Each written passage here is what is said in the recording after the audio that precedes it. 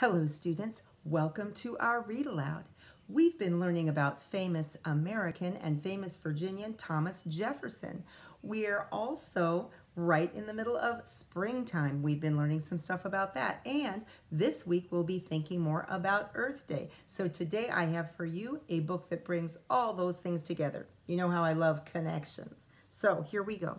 This is called First Peas to the table. Peas, like little green peas. Ooh, I'm making a connection to the veggie monster. Remember how the what reaction the pea prompted when the boy had to eat the pea for dinner? Anyway, so here I see a little girl and she's going like this. Shh, like there's a secret.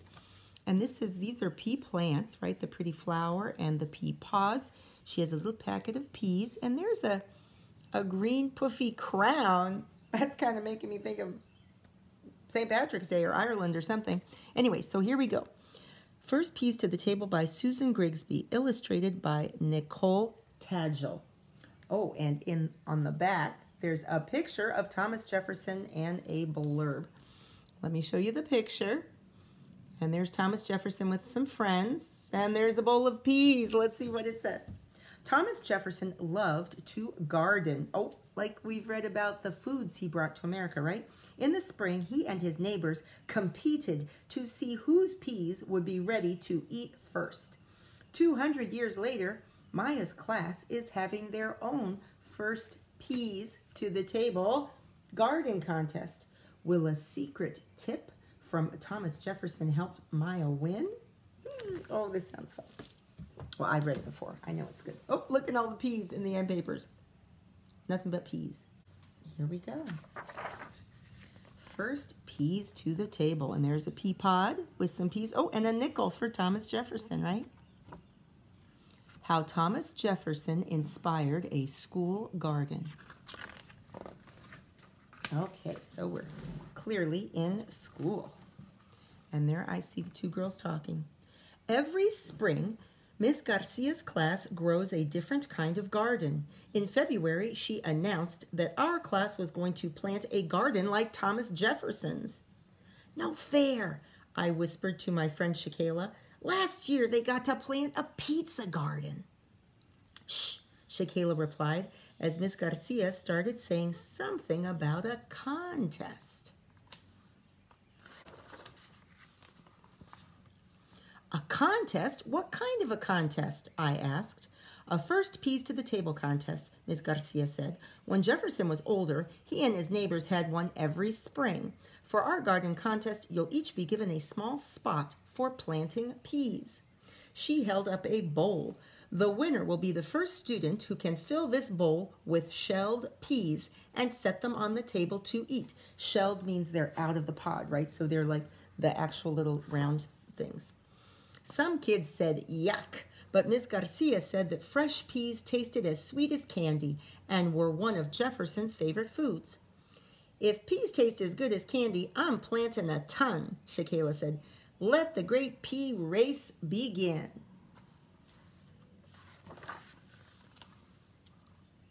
I really, really wanted to win when Miss Garcia showed us the winner's crown. It was green and gold with emerald colored, pea sized jewels all around it.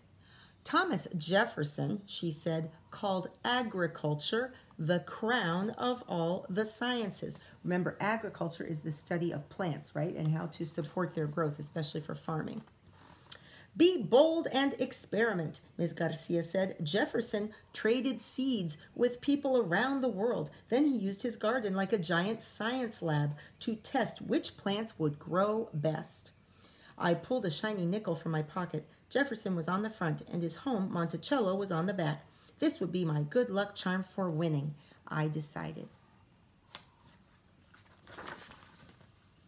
The next day, we made journals to record our notes in, just like Thomas Jefferson did, and just like you have, you have journals now from Senora Santiago for un semilla, una semilla for the little beans you're growing, right? You can be keeping your journal just like a scientist, just like they they will. Okay, Thomas Jefferson's garden book was like a diary with notes about everything he planted, and we learned a lot about peas. Jefferson said you had to have healthy soil to grow healthy plants. Compost, made of plant waste that's rotted, adds nutrients to the soil. We took some compost from the school's bin and mixed it into the garden beds. And here's the pea life cycle sprout, seedling, blossom, pod, edible pea, dries up and makes a little seed, and the cycle starts all over again.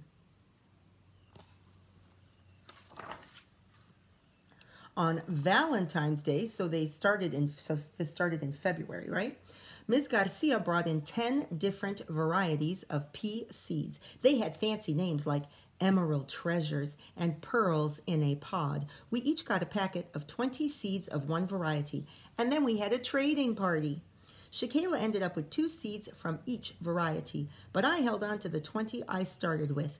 Sweet Victory peas. The name sounded like a winner to me. Ms. Garcia said that we could get a head start by planting some peas inside at home and then transplanting them at school in March. But I was going to get a double head start because I'd found a pea growing tip in a copy of Jefferson's garden book and I was keeping it top secret. Oh, I think that's the her secret on the front there. She knows something from Thomas Jefferson's gardening diary that may help her. At home, I put eight tiny pea seeds into a bowl of water. What are you doing? my mother asked. Making pea soup? I'll tell you if you can keep it a secret. I told her. In 1771, Jefferson wrote that he soaked his pea seeds for 24 hours before he planted them. The next day, I planted my soaked seeds and placed the pots on a sunny windowsill with my good luck nickel next to them. Four times a day, I checked on my plants and gave them water. But after two weeks and no signs of green, I dug up a seed. It was rotten mush from too much water.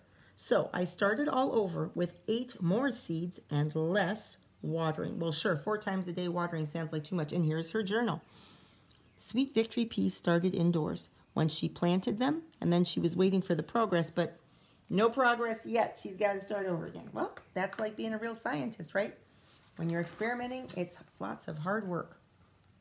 Shakayla started carrying home a lot of books on garden plants and some strange stuff from the school's recycling resource room. What's all this for? I asked. Your peas aren't growing yet, are they?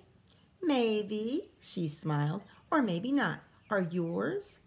Maybe or maybe not, I replied. Shakayla laughed. May the boldest gardener win. I ran home after school to check my peas.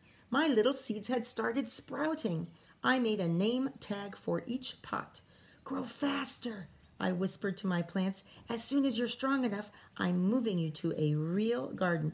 Oh, and so cute. She named them all with names that start with P. So there's Polly, Pearl, Patty, Peace, Pickles, Poppy, Princess, and Penelope. Wow, they kind of almost all sound like girls.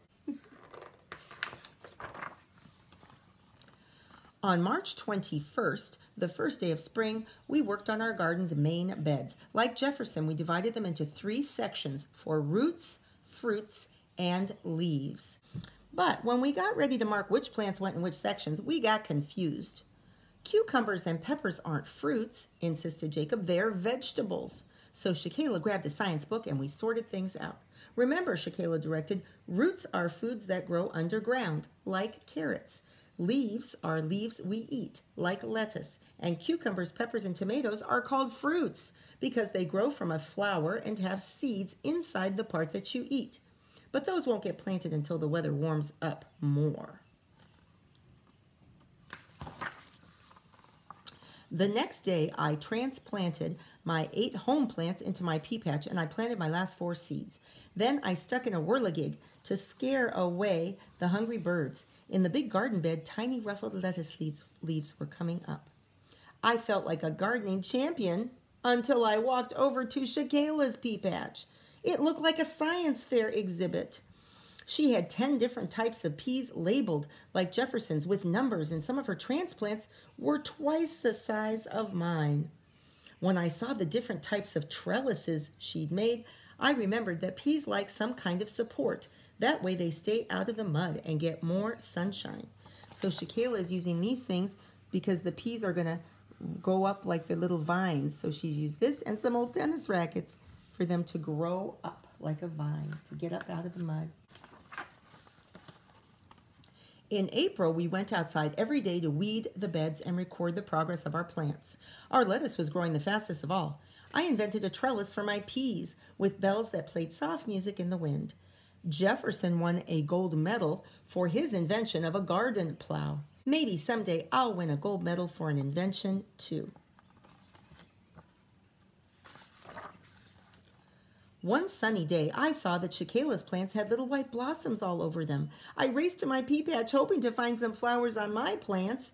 Penelope Pea had a blossom. I was so happy I did a little pea blossom dance. Shakela and I sat down and drew pea blossoms in our journals. I wish I could draw as well as you, she said. I wish that my plants were as big as yours, I replied.